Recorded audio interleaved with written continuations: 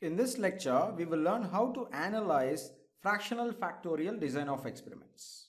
Here we are in Minitab and if you recollect, we were dealing with the SOYA example where we had 5 factors and 16 experiments and we performed a half factorial experiment.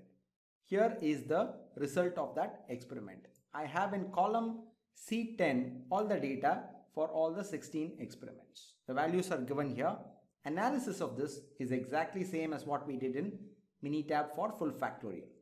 I'm going to go to Stat, DOE, Factorial, come to Analyze Factorial Design, click on this factor and in terms I can specify the main factors.